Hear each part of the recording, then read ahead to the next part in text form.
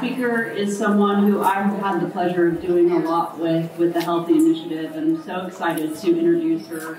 Dr. Suzanne Bruce is a graduate of Rice University and Baylor College of Medicine and founder of the multi-physician practice SBA Dermatology.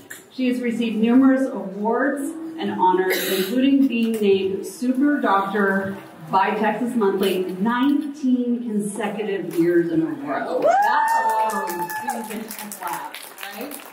She is passionate about sharing how a whole food, plant based diet can improve your general health and your skin health. She will present evidence on a plant based diet and how it can reverse many skin diseases and improve the aging skin. I know all of us ladies are ready to hear this. Dr. Bruce, please come to the stage. Please welcome her.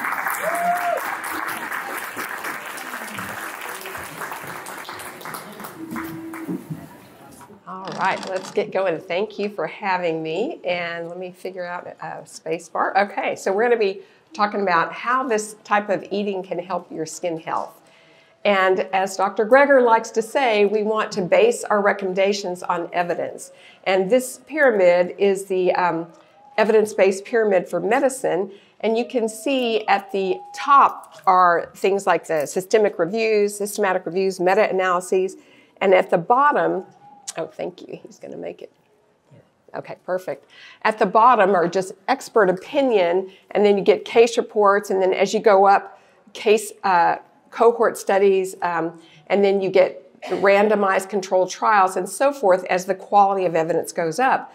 Unfortunately, there's not a lot of research dollars being put behind looking at how diet affects skin. We have some studies, which I'll present some of the ones we have today, but you know, based on my expert opinion, I definitely think a whole food plant-based diet is the way to go, but let's look at the evidence that we do have. So, we're going to be looking at how diet affects skin aging, how it affects inflammatory skin diseases, and skin cancer. So let's start with skin aging. The vast majority of aging of the skin is due to ultraviolet radiation from the sun, like 90% of what causes our skin aging. Also, smoking plays a role, pollution, poor sleep, and poor nutrition.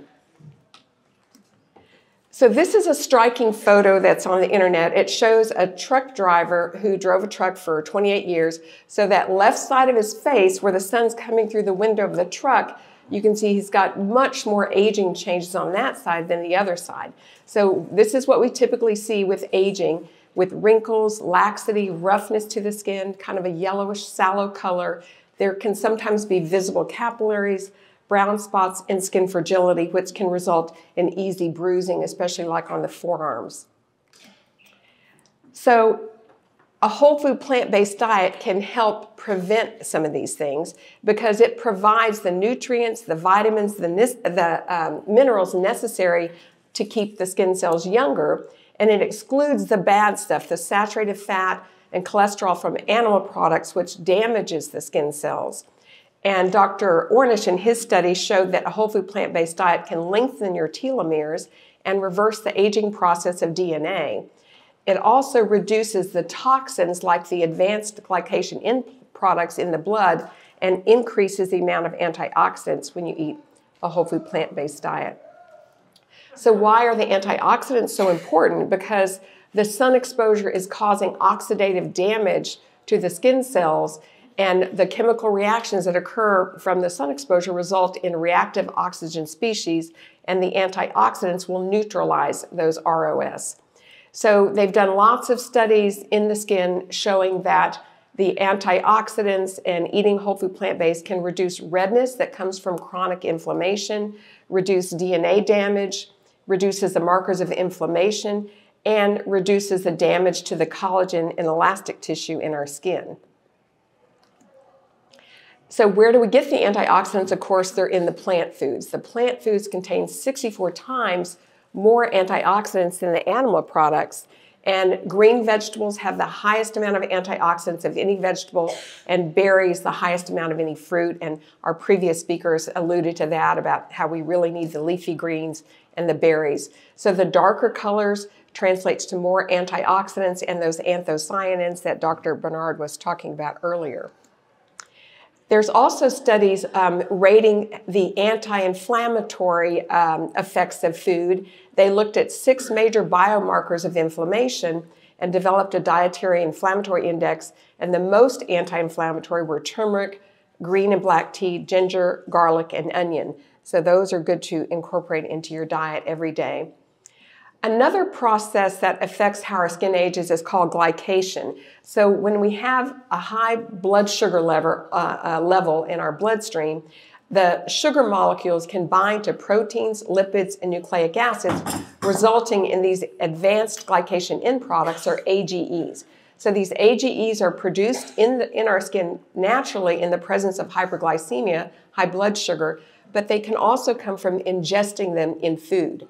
So what happens when you get this glycation is illustrated in the lower schematic there, where you get cross-linking of the collagen fibers, and that makes the skin stiff and vulnerable to mechanical damage. Some authors have referred to this as sugar sag.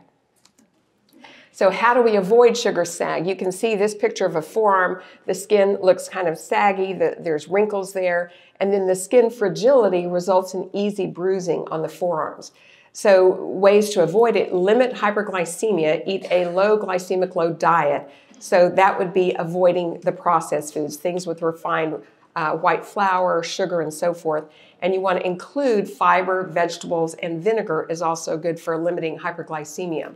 There's also a number of spices that can inhibit this AGE biosynthesis. So you can see garlic, cinnamon, and lots of the other spices there, and tomato paste. And then you want to limit ingestion of these preformed AGEs, and those are mostly in the meat, the cheese, and the processed food. The other thing that really shoots up the AGE levels are the grilling, roasting, and frying. So that you want to avoid as well. So moving on to some of the clinical studies looking at actual patients, um, they did one study in uh, Greece, Australia, and Sweden, and they showed that people that had a high intake of vegetables, legumes, and olive oil was protective against sun damage. But the people that were eating a meat, dairy, and butter in their diet, they had more sun damage evident on their skin. One done in American women showed a high intake of vitamin C and linoleic acid, which is found in the leafy greens and the nuts. Those women had less wrinkles, less dryness, and less thinning. But the people that had a high intake of fat and carbohydrates had more wrinkles and more skin thinning. One done in elderly Dutch women showed a red meat and snack dominant, i.e., processed dietary pattern. They had more facial wrinkles, but a fruit dominant diet, they had fewer wrinkles. And then in Australia, they did a longitudinal study over uh, 15 years and found that the people that who ate the most high antioxidant foods had 10% less photoaging of their skin than those who had the low antioxidant. So now moving on from skin aging into skin disease, why do we get skin disease? Well, there's a famous saying in lifestyle medicine. Let me go back here. Here's my back button. Um, there's a famous study genes load the gun and lifestyle pulls the trigger. And that's the same with these skin diseases. You can be genetically predisposed to psoriasis, but you may not manifest it unless you're having these unhealthy lifestyle factors like, like the poor diet. And even things like male pattern baldness, which we never thought uh, diet was affecting that. Now, some of the research is showing that, you know, in populations like Asia, where they ate more of a plant based diet historically, as they become more westernized and eating more meat and cheese in their diet, they're getting more male pattern baldness in China and Japan and, and other Asian countries. So, we're going to talk about some of these diseases. So, a huge factor that um, we're going to hear more about with our next speaker, but there's more and more research coming out all the time about how an unhealthy gut microbiome that is coming from an unhealthy diet causes many of these skin diseases. So, you can see here at the top with a plant based diet, that leads to a rich and diverse microbiome in your gut with with a predominance of the healthy bacteria, but a Western diet heavy with um, fat, meat, cheese, animal protein, that results in what's called gut dysbiosis, which is the unhealthy gut microbiome, where you get less of the beneficial bacteria and overgrowth of the bad bacteria. So let's talk about a really common one is acne. 85% of young people 12 to 24 experience at least minor acne. And when I went through my training um, back in the 80s, you know, we were taught that when you hit puberty, your hormones kick in, that activates the sebaceous glands. Sorry, it keeps going forward. And then the uh, oil glands start putting out oil, and that tends to get over proliferation of this P. acnes bacteria, and the pores get clogged up, and then you get the red inflamed bumps. But we were never taught anything about diet playing a role, but now the research is showing that diet does play a role. And one clue was these ethnographic studies when they looked at these populations around the world, like in Papua New Guinea, South America, in pre World War II Japan, in the Inuit in Canada, these people didn't get acne. And then, as like in Japan or in Canada, as their diets become more westernized, then they started showing up getting acne. So, how is the diet affecting the acne? So, this flow chart, if you look at the bottom, on the bottom right, you can see dairy and meat. And meat and dairy contain leucine, an amino acid, and that leucine triggers this mTOR pathway. The mTOR pathway then makes the skin produce more oil, the sebum, and then it tends the hyperkeratinization is the clogging of the cells lining the follicle and so that excess oil and the clogged follicles lead to acne. The other thing that does it in our diet, at the bottom you can see where it says high glycemic index or glycemic load foods, things that spike your blood sugar, the refined uh, processed foods, and the sugar in the diet. Those cause the insulin to go up and your IGF 1 to go up, and then those go up and trigger that mTOR pathway, which leads to the oily skin and the clogged pores. Also, the fat in, our, in the diet causes an unhealthy gut microbiome, and that can lead to the oily skin and the acne as well. So, if you're eating a whole food plant based diet, that typically has less than 10% of its calories from fat. But according to the CDC, the average American gets about 36% of their calories from fat in the standard American diet. And a lot of that is like saturated fat in cheese, the pizzas, the cheeseburgers, the tacos, the Mexican food that we all, all used to love. But so this is a book that I recommend to my teenage patients with acne. It was written by Nina and Randa Nelson. They're the twin daughters of Jeff Nelson, who's a prominent vegan, um, he founder of Veg Source. But they were vegan all their life, but when they got to be teenagers, they started getting pretty bad acne, as you can see in the photo there. And then they began to realize, aha, it was from the high oil. They were still eating like peanut butter, um, restaurant food with oil, and uh, processed food, and that high oil in their diet. When they cut that out, their acne cleared up. And then they wrote this book, and it goes through kind of the science and explaining it, and as well as their own journey. So I recommend that to kids with acne. Now, another condition kind of related to acne is what we call rosacea, which is often referred to as adult acne. Affects about 5.5% of adults, affects both men and women. They get a lot of redness across their cheeks, and they can get little pimple like outbreaks and flushing, and it's very unpleasant. And the research now is showing that a lot of the people who have rosacea also have an unhealthy gut microbiome, and they have many GI problems like um, inflammatory bowel disease, H. pylori infection, esophageal reflux. And so both the gut problems and the uh, rosacea are thought to be coming from this unhealthy gut microbiome. In addition to that, they have increased rates of coronary artery disease if they have rosacea, increased rates of um, insulin resistance, and even uh, neurologic problems like Parkinson's and Alzheimer's. So, this study from last year looked at uh, dietary patterns in acne and rosacea, and they concluded that it was beneficial for ac- acne and rosacea to consume vegetables, legumes, oily fish, and olive oil, and it was beneficial to avoid the meat, cheese, and alcohol. There's not any double-blind randomized controlled trials of you know diet and rosacea, but we do have lots of anecdotal reports on the internet about people who converted to a plant-based diet and their rosacea went away. So that's certainly what I recommend to my rosacea patients.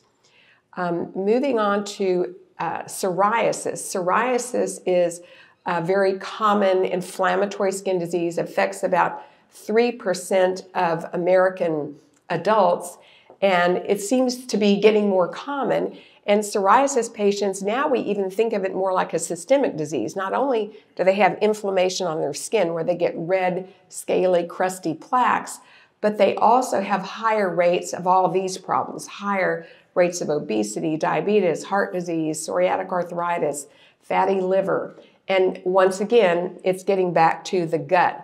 The psoriasis patients have an unhealthy gut microbiome with a reduction of the beneficial bacteria, and that impairs that gut barrier and allows bacteria to get into their bloodstream, and then that activates the immune pathways, which gets the immune cells attacking the skin cells, resulting in all this skin inflammation.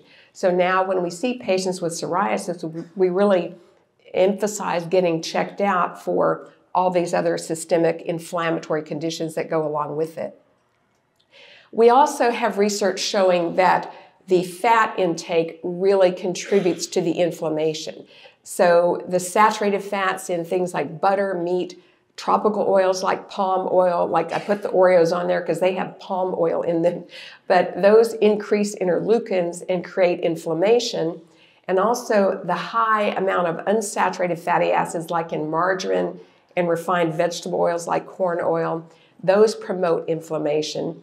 And then our omega 3, omega 6 to omega 3 ratio, if you're eating the Western diet, that very high ratio decreases insulin sensitivity and promotes inflammation. So, all of these things contribute to psoriasis.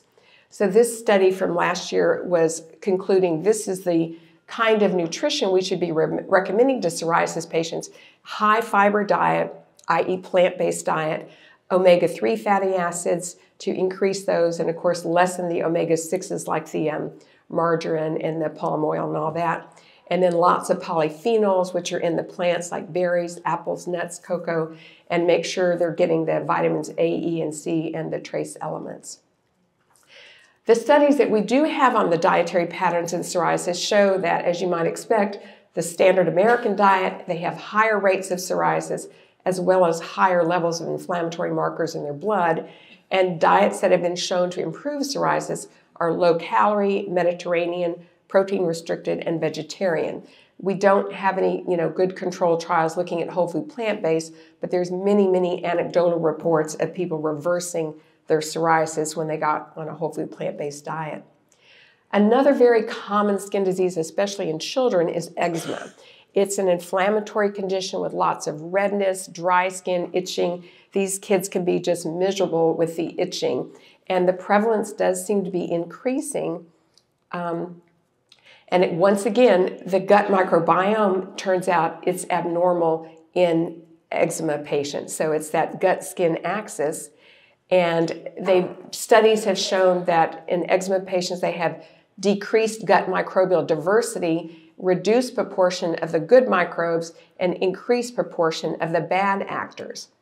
So this is what we think is happening. It's referred to sometimes as leaky gut that when patients have that unhealthy gut microbiome, they get an increased gut permeability, and that allows the toxins, food residues, and pathogens to get into their blood circulation. And when those things reach the skin, they release these pro inflammatory cytokines that make them itch and become all inflamed. So, if we can heal the gut microbiome, then we can heal their eczema. Moving on now to hair loss. Again, when I went through my training, we had no clue that diet could play a role in hair loss. That was like, wow, we, we didn't even realize that. But I'm just talking about these two uh, forms of hair loss the autoimmune hair loss called alopecia areata. And that usually starts in patches where they just lose circular patches, and then it can become more and more extensive. In some people, going to the extent of like losing every hair on their scalp and their body. Um, that, that's the autoimmune form. And then the more common one is what we call androgenetic alopecia, or also known as male pattern and female uh, pattern, where men, you know, thin out, or men can even go totally bald, or women will typically just thin out and not go totally bald. But it's it's very common, and it's becoming more common in Asia. I think um, I think I mentioned earlier, as their diet has become more westernized and they're eating uh, more of the standard American diet type foods in Asia, the male pattern hair loss is going up in Asia. So, this was the first study that really opened our eyes to that maybe the gut plays a role in alopecia areata. This was a kid that age 16 began to get alopecia areata hair loss. By age 20, he had lost almost all his hair. And he also had a gut problem where he had Clostridium difficile, overgrowth of a, a bad bacteria in his gut. So they gave him a fecal transplant from a healthy patient into his um, gut, uh, colon, and then he grew, regrew his hair just from getting the fecal transplant. So that was like, wow, everybody was so shocked when that happened. But now, again, more and more the research is showing that gut microbiome is playing a role. So we don't have, again, controlled trial studies, but there's anecdotal reports of reversing alopecia areata with a plant based diet. These are two identical twins, Jeremy and Jordan Allen, and they both had alopecia areata. And by switching their diet to plant based, they both reversed it and grew their hair back.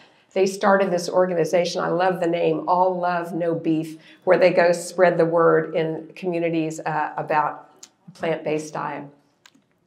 So, and there's a few studies coming out now about male pattern hair loss and diet.